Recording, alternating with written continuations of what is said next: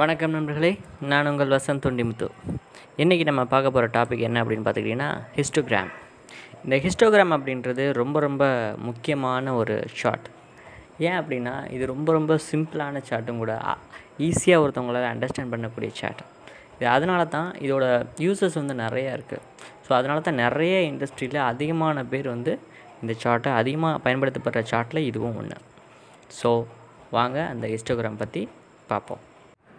So histogram டாப்பிக்கில் நம்ம content என்னென்ன பார்க்க போகிறோம்னா ஃபஸ்ட்டு ஹிஸ்டோகிராம்னா என்ன? ஹிஸ்டோகிராம் ஏன் பயன்படுத்தணும்? அடுத்து பார்த்தீங்கன்னா எப்போ ஹிஸ்டோகிராம் பயன்படுத்தணும்?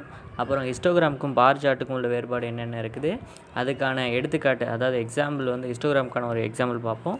அடுத்து பார்த்தீங்கன்னா டிஃப்ரெண்ட் டைப் ஆஃப் ஹிஸ்டோகிராம் என்னென்ன இருக்குது அப்படின்னு பார்க்க போகிறோம் அடுத்து பெனிஃபிட்ஸ் ஹிஸ்டோகிராம் யூஸ் பண்ணுறதுனால என்னென்ன பெனிஃபிட்டு அடுத்து பார்த்தீங்கன்னா ஹிஸ்டோகிராம் பற்றி திங்க் பண்ணும்போது மூணு பெஸ்ட்டு ப்ராக்டிஸை வந்து நம்ம ஃபாலோ பண்ணணும். அது என்னென்ன? அடுத்து பார்த்திங்கன்னா என்னென்ன ஸ்டெப்ஸ் வந்து ஹிஸ்டோகிராம் க்ரியேட் பண்ண ஃபாலோ பண்ணணும்.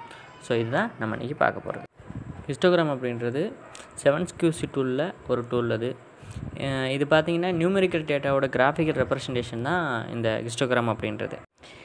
இந்த ஹிஸ்டோகிராம் சார்ட் வந்து எப்படி கன்ஸ்ட்ரக்ட் பண்ணுவாங்க அப்படின்னு பார்த்துக்கிட்டிங்கன்னா ஹரிசாண்டல் ஆக்சிஸில் வந்து கால இடைவெளி அதாவது கிளாஸ் இன்டர்வல் கால இடைவெளியையும் வெர்டிக்கல் ஆக்சிஸில் வந்து குவான்டிட்டி ஆர் ஃப்ரீக்வன்சி ஓகேவா numbers or amount quantity how many how much அப்படின்ற இல்லையா?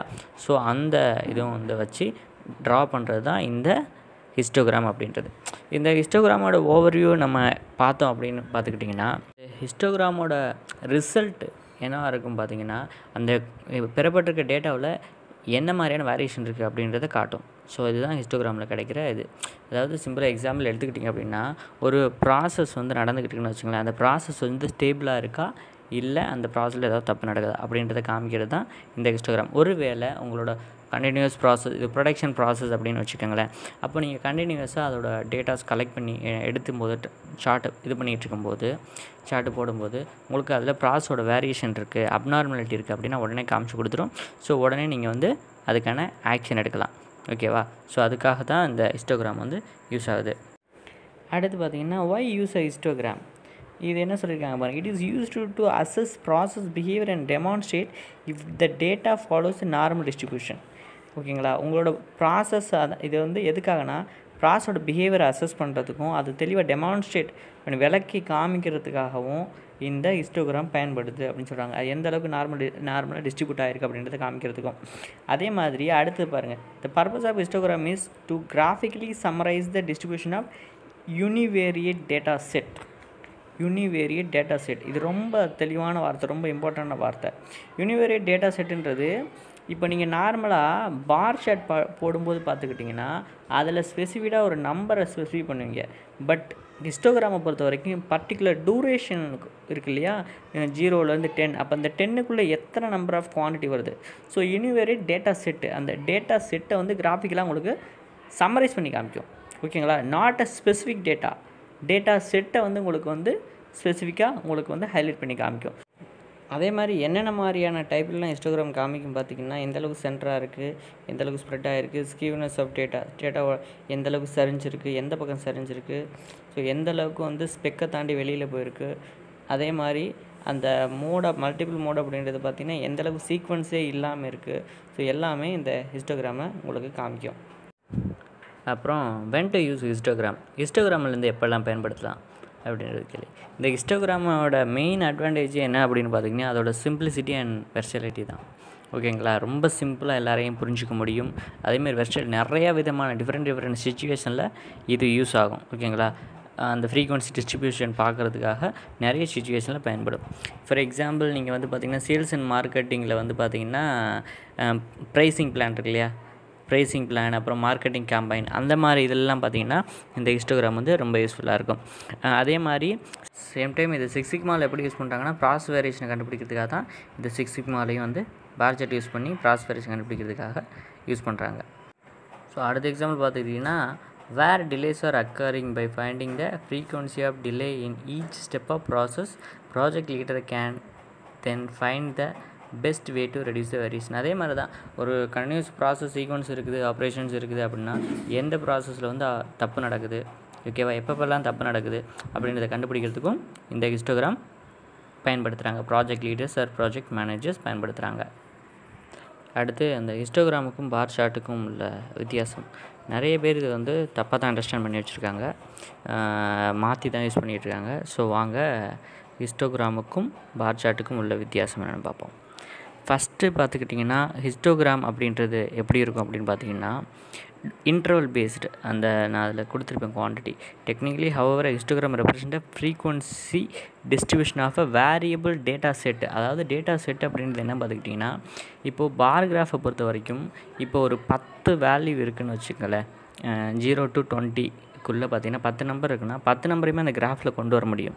பட் ஹிஸ்டோகிராமை பொறுத்த வரைக்கும் ஜீரோ டு டுவெண்ட்டி அந்த ரேஞ்சுக்குள்ளே எவ்வளோ செட் ஆஃப் குவான்டிட்டி இருக்குது அப்படின்றத காமிக்கிறது தான் இந்த ஹிஸ்டோகிராம் பார்கிராஃபை பொறுத்த வரைக்கும் இண்டிவிஜுவல் டேட்டா அதாவது bar graph is typically represent a graphical comparison of district or categorical variable categorical variable அப்படின்றப்போ ஒரு இண்டிவிஜுவல் நம்பர் தான் வர முடியும். இப்போ பார்த்துக்கிட்டிங்கன்னு வச்சுங்களேன். இப்போது பதினெட்டில் வந்து என்ன மாதிரியானது இருக்குது ஜீரோ டு டுவெண்ட்டிக்குள்ள தான் பதினெட்டு வருது பதினேழு அதுக்குலாம் வருது. ஸோ அப்போ பதினெட்டில் எத்தனை நம்பர் இருக்குது பதினேழில் எத்தனை நம்பர் இருக்குது அப்படின்னு சொல்லி பார்கிராஃபில் வந்து நீங்கள் சார்ட்டாக ட்ரா பண்ணுவீங்க. பட் ஹிஸ்டோகிராம் பொறுத்த வரைக்கும் ஜீரோ டு டுவெண்ட்டிக்குள்ள டோட்டலாக பதினெட்டு பதினேழு பதினாறு எத்தனை இருக்கோ எல்லாத்தையும் மொத்தமாக சேர்த்து டோட்டல் குவான்டிட்டியாக தான் நீங்கள் இதில் கொடுப்பீங்க. ஸோ இதுதான் ஃபஸ்ட்டு டிஃப்ரெண்ட் ஹிஸ்டோகிராமுக்கும் பாரோகிராஃபுக்கும் அடுத்து பார்த்துக்கிட்டிங்கன்னா இதில் வந்து ஹிஸ்டோகிராமை பொறுத்த வரைக்கும் ரெண்டு அதாவது two dimensional picture okay two dimensional figure இது.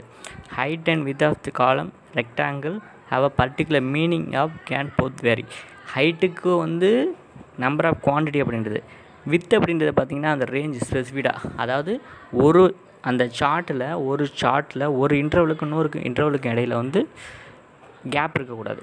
ஸோ அதுதான் ஹிஸ்டோகிராம் பட் பாரோகிராஃபை பொறுத்த வரைக்கும் ஹைட்டுக்கு மட்டும்தான் குவான்டிட்டி வந்து மென்ஷன் பண்ணும். ஆனால் அந்த கேப்போ வித்தோ அந்த ஷார்ட்டோட வித்தோ எதுக்குமே மீனிங் கிடையாது. ஸோ இப்போ வந்து நம்ம ஹிஸ்டோகிராமோட ஒரு எக்ஸாம்பிள் பார்ப்போம். ஸோ இதில் என்னென்னா ஸ்கூ ஸ்டூடெண்ட்டோட மார்க் இருக்கு இல்லையா? ஸ்கோர் இருக்கு இல்லையா? இப்போ ஸ்கோர் தான் அந்த லெஃப்ட் சைடு போட்டிருக்கிறது எல்லாமே. பார்த்துக்கிட்டிங்கன்னா என்ன போட்டிருக்காங்கன்னா ஜீரோலேருந்து இருபதுக்குள்ளே எத்தனை பேர் எடுத்திருக்காங்க? இருபத்தொன்னுலேருந்து நாற்பதுக்குள்ளே எத்தனை பேர் எடுத்திருக்காங்க? நாற்பத்தொன்னுலேருந்து அறுபது வரைக்கும் எத்தனை மெம்பர்ஸ் எடுத்திருக்காங்க? அறுபத்தி ஒன்றுலேருந்து எண்பது வரைக்கும் எத்தனை பேர் எடுத்திருக்காங்க? எண்பத்தொன்று நூறு. ஸோ இந்த ஒவ்வொரு ரேஞ்ச்லேயும் வந்து எத்தனை நம்பர் ஆஃப் ஸ்டூடெண்ட் வந்து அந்த இடையில உள்ள மார்க் எடுத்திருக்காங்க அப்படின்றத தான் பார்க்கணும். ஸோ இந்த ரேஞ்சு தான் இங்கே பார்த்துக்கிட்டிங்கன்னா நம்மளுக்கு எக்ஸாஸில் ஃப்ரீக்குவன்சின்றது நம்பர் ஆஃப் ஸ்டூடெண்ட்டு இந்த இன்டர்வல் அப்படின்ற பார்த்தீங்கன்னா ரேஞ்சு இதில் நல்லா பார்த்துக்கிட்டிங்கன்னா தெரியும். இந்த ஜீரோ ஜீரோ டு டுவெண்ட்டி இருக்கு இல்லையா? அது அந்த பார் சார்ட்டுக்கு ஒரு ஒரு சார்ட்டுக்கும் இன்னொரு இதுக்கும் இடையில பார்த்துக்கிட்டிங்கன்னா கேப்பே இருக்காது. ஒரு பார்க்கு இன்னொரு பார்க்கு இடையில கேப் இருக்காது. ஓகேவா இப்போ ஜீரோ டு டுவெண்ட்டிக்கு இடையில ரெண்டு பேர் எடுத்திருக்காங்க. இருபது டு நாற்பதுக்கு இடையில உள்ள மார்க் எத்தனை பேர்னா ஆறு பேர் எடுத்திருக்காங்க. அடுத்து பார்த்தீங்கன்னா நாற்பத்தொன்னுலேருந்து அறுபதுக்கு இருபத்தி ரெண்டு பேர் எடுத்திருக்காங்க. அடுத்து பார்த்திங்கன்னா அறுபத்தொன்னுலேருந்து எண்பது வரைக்கும் பதினஞ்சு பேர் எடுத்திருக்காங்க. எண்பத்தொன்னுலேருந்து நூறு வரைக்கும் அஞ்சு பேர் எடுத்திருக்காங்க.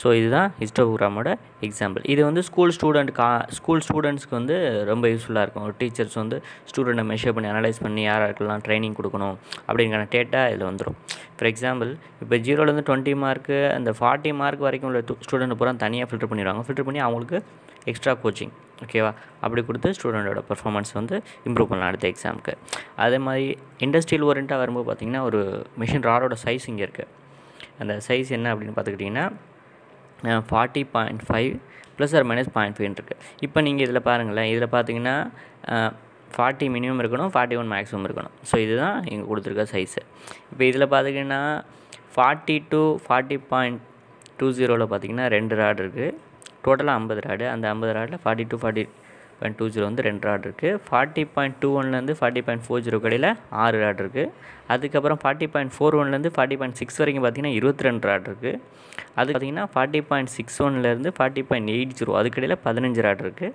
ஃபார்ட்டி பாயிண்ட் எயிட் ஒன்லேருந்து ஃபார்ட்டி ஒன் அது வரைக்கும் பார்த்திங்கன்னா அஞ்சு ராட் இருக்குது ஸோ இதுவும் ஹிஸ்டோகிராம் புரியுங்களா அந்த எந்த ஃப்ரீக்குவன்சியில் அதிகமாக வந்திருக்கு? அதாவது மிட் ஸ்பெக்கில் தான் கரெக்டாக இருபத்தி ரெண்டு ராடு அதிகமாக இருக்குது ஸோ அந்த ஷேப் வந்து பெல் சிம்பிள் மாதிரி வரும்.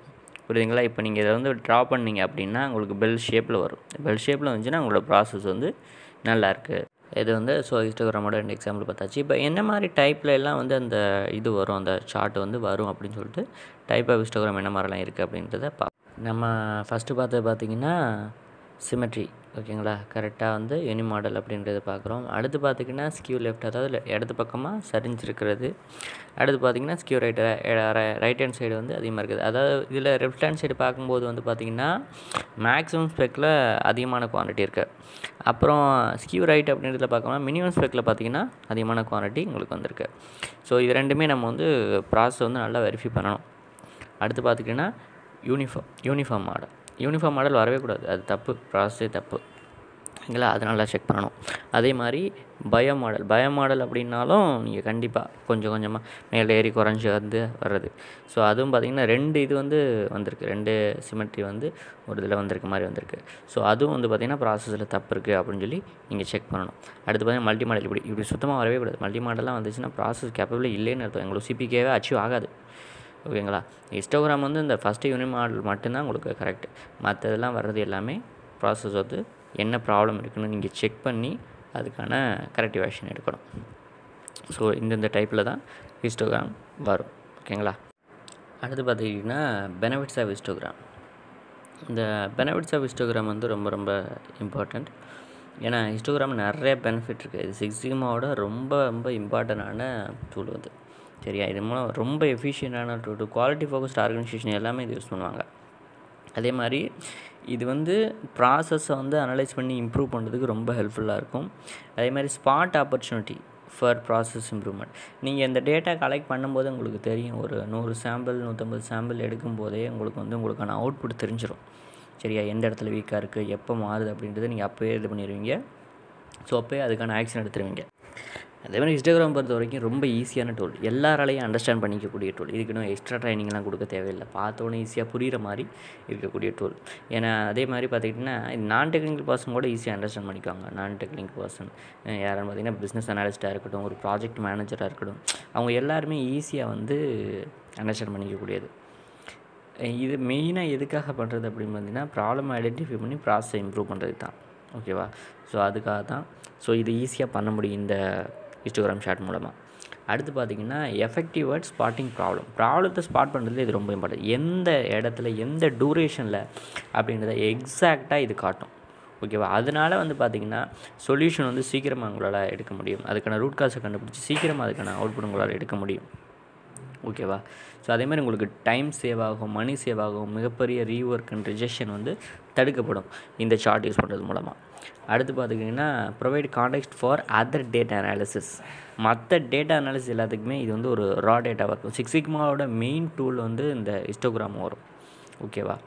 ஸோ அந்த செவன் கிஸ் டூல் வரும். செவன் கிஸ் டூலில் இம்பார்ட்டண்டான டூல் வந்து. பேரட் அனாலிசிஸ்க்கான இதுவே இது தான் கொடுக்கும். ரா டேட்டாவே இது தான் கொடுக்கும். ஓகேவா? அடுத்து three best practice when you thinking about Instagram Instagram பொறுத்த வரைக்கும் ஒரு ப்ராசஸை எவால்வேட் பண்ணுறதுக்கான பெஸ்ட் டூல் அப்படின்னு சொல்லுவேன் ரொம்ப நல்ல டூல் வந்து இன்ஸ்டாகிராம் தான். டிசிஷன் மேக்கிங்கும் அதே மாதிரி வந்து ஹிஸ்டோகிராம் தான் ரொம்ப பெஸ்ட்டு டூல் இது வந்து பார்த்திங்கன்னா சிங்கிள் வேரியபிளோட டிஸ்ட்ரிபியூஷனாக இருந்தாலும் சரி நிறைய வேரியபிள் கம்பேர் பண்ணுறதுக்காக சரி இது வந்து ரொம்ப யூஸ்ஃபுல்லாக இருக்கும். ஸோ இதை வந்து எப்படி எஃபெக்டிவாக யூஸ் பண்ணலாம் அப்படின்னு பார்த்தீங்கன்னா முதல்ல வந்து உங்களோட data keep your data simple அதாவது பார்த்தீங்கன்னா சிங்கிள் வேரியபிள் வச்சுக்கோங்க ஓகேங்களா? ஒன்லி ஒரு வேரியபிளை வச்சு நீங்கள் வந்து ஹிஸ்டோகிராம் க்ரியேட் பண்ணிங்கன்னா ரொம்ப எஃபெக்டிவாக யூஸ்ஃபுல்லாக இருக்கும். நீங்கள் அப்படியே ஒரு வேளை வந்து நீங்கள் வந்து ரெண்டு வேரியபிளை கம்பேர் பண்ண அப்படின்னா அதுக்கு வந்து தனித்தனி ஹிஸ்டோகிராமை போட்டு நீங்கள் கம்பேர் பண்ணி பார்த்தீங்கன்னா உங்களுக்கு ரொம்ப யூஸ்ஃபுல்லாக இருக்கும். ஓகேங்களா? அதே மாதிரி பார்த்தீங்கன்னா don't include too many categories of histogram அதே மாதிரி don't include too many categories in histogram ஹிஸ்டோகிராமில் நிறைய கேட்டகரிஸை இன்க்ளூட் பண்ணாதீங்க. ஏன்னா அது உங்களுக்கு புரிஞ்சுக்கிறதுக்கு அதை it will become hard to read அதை புரிஞ்சுக்கிறதுக்கு உங்களுக்கு வந்து ரொம்ப கஷ்டமாக இருக்கும். அதே மாதிரி பார்த்தீங்கன்னா நிறைய பார்ஸ் வரக்கூடாது. நிறைய பார் அதாவது பார்த்தீங்கன்னா பார் சார்ட்டில் வந்து நிறைய பார் வரக்கூடாது. நிறைய பின் பார்ன்னு சொல்லுவோம் இல்லையா? அந்த கிராஃப் சிங்கிள் கிராஃப் இருக்கு இல்லையா? அது நிறைய வந்துச்சுன்னா உங்களால் வந்து காம்ப்ளிகேட்டடாக இருக்கும். நம்மளுக்கான கரெக்டான ரிசல்ட் எடுக்கிறது கொஞ்சம் கஷ்டமாக இருக்கும். இதோட மெயின் தம்ப்ரூல் என்னென்னா மேக்ஸிமம் பார்த்தீங்கன்னா ஒரு அஞ்சுலேருந்து ஆறு. அதிகபட்சம் பார்த்தீங்கன்னா ஒரு பத்துக்குள்ளே வந்து நீங்கள் வந்து பார் வச்சுக்கோங்க. அதுக்கு மேலே வச்சுக்கிட்டிங்க அப்படின்னா அது எஃபெக்டிவாக அந்தளவுக்கு எஃபெக்டிவாக இருக்காது. எல்லாராலையும் ஈஸியாக புரிஞ்சிக்க முடியாது. அது ஒன்று அடுத்து பார்த்தீங்கன்னா கம்பல்சரி லேபிள் இருக்கணும். ஒவ்வொரு ஷார்ட்லேயும் ஒவ்வொரு சிங்கிள் பார்லையும் வந்து பார்த்தீங்கன்னா லேபிள் இருக்கணும். ஸோ அப்படி லேபிள் இருக்கும்போது தான் உங்களுக்கு அழகாக காமிக்கும். எப்படின்னா அந்த ப்ராசஸ் வந்து புரியும். இந்த சார்ட் பார்க்கும்போதே புரியும். ஸோ இதெல்லாம் ஃபாலோ பண்ணிங்கன்னா நீங்கள் வந்து உங்களோட ஹிஸ்டோகிராம் வந்து எஃபெக்டிவாக இருக்கும். ஸோ அடுத்து பார்த்தீங்கன்னா ஹிஸ்டோகிராம் வந்து எப்படி கிரியேட் பண்ண என்னென்ன ஸ்டெப்ஸ் எல்லாம் வந்து வருது அப்படின்னு பார்த்தீங்கன்னா முதல்ல வந்து டேட்டா கலெக்ட் பண்ணிக்கணும். அதுக்கப்புறம் அதை அரேஞ்ச் பண்ணிக்கணும். என்னென்ன கேட்டகரிஸ் நீங்கள் வந்து என்னென்ன ரேஞ்சில் பிரிக்க போகிறீங்க அப்படின்ற மாதிரி கேட்டகரிஸ் அரேஞ்ச் பண்ணிக்கணும். அடுத்து பார்த்தீங்கன்னா லோவஸ்ட் வேல்யூ எவ்வளோ ஹையஸ்ட் வேல்யூ எவ்வளோ அப்படின்றத ஃபிக்ஸ் பண்ணிக்கணும். அதே மாதிரி நம்பர் ஆஃப் இன்டர்வல் எத்தனை அப்படின்றதையும் ஃபிக்ஸ் பண்ணிடுவீங்க. இந்த நம்பர் ஆஃப் கேட்டகரி அப்படின்றது பார்த்தீங்கன்னா உங்களோட சாம்பிள் சைஸை பேஸ் பண்ணி தான் இருக்கும். அடுத்து பார்த்துக்கிட்டிங்கன்னா எத்தனை இன்டர்வல் வந்து நீங்கள் வைக்க போகிறீங்க எந்த டேட்டா செட்டுக்கும் எத்தனை இன்டர்வல் வைக்க போகிறீங்க அப்படின்றதையும் வந்து கம்ப்யூட் பண்ணுவீங்க அதே மாதிரி ஃப்ரீக்குவன்சி வந்து ஃபைன் பண்ணிக்கோங்க. ஈச் டேட்டா வந்து இன்டர்வல் படி இருக்கா அப்படின்ட்டு இது பண்ணிக்கோங்க. அதுக்கப்புறம் நீங்கள் ஹிஸ்டோகிராம் ட்ரா பண்ண ஆரம்பிச்சிடுங்க. ஸோ இவ்வளோதும் பண்ணால் தான் உங்களால் ஹிஸ்டோகிராம் க்ரியேட் பண்ண முடியும். ஓகேவா ஸோ கண்டிப்பாக உங்களுக்கு இந்த வீடியோ புரிஞ்சிருக்கும் நம்புகிறேன் ஸோ என்னென்ன ஃபஸ்ட்டு பார்த்தோம் அப்படின்றதையும் ஒரு ரிகால் பண்ணிக்கிறோம். ஃபஸ்ட்டு என்ன அப்படி பார்த்தோம் அப்படின்னு பார்த்தீங்கன்னா ஹிஸ்டோகிராம்னா என்ன அப்படின்னு சொல்லி பார்த்தோம். அடுத்து ஹிஸ்டோகிராம் ஏன் யூஸ் பண்ணுறோம் அப்படின்னு சொல்லி பார்த்தோம். அப்புறம் எப்போல்லாம் ஹிஸ்டோகிராம் யூஸ் பண்ணுவோம் அப்படின்றதையும் பார்த்தாச்சு. ஹிஸ்டோகிராம்னா என்ன பார் சார்ட்னா என்ன அந்த டிஃப்ரென்ஸ் பார்த்தாச்சு. அப்புறம் ஹிஸ்டோகிராமில் எக்ஸாம்பிள் பார்த்தாச்சு. என்னென்ன டைப்பில் ஹிஸ்டோகிராம் இருக்குதுன்னு பார்த்துருக்கோம். ஹிஸ்டோகிராமோட பெனிஃபிட் பார்த்தாச்சு. அப்புறம் எந்த மாதிரியான ப்ராக்டிஸ் எல்லாம் பெஸ்ட் ப்ராக்டிஸ் நம்ம வந்து ஃபாலோ பண்ணால் நம்மளால் பக்கவான ஹிஸ்டோகிராம் ரெடி பண்ண முடியும் அதையும் பார்த்தாச்சு. அப்புறம் எப்படி ஹிஸ்டோகிராம் க்ரியேட் பண்ணுறதுக்கு அதுக்கு என்னென்ன ஸ்டெப்ஸ் இன்வால்வ் ஆகுது எல்லாமே பார்த்தாச்சு. ஸோ கண்டிப்பாக அந்த வீடியோ உங்களுக்கு புரிஞ்சிருக்கும் நம்புகிறேன் இதில் ஏதாவது கிளாரிஃபிகேஷன் இருந்தால் கண்டிப்பாக கமெண்ட் பண்ணுங்கள் நன்றி. என்று அன்புடன் வசந்த் உண்டி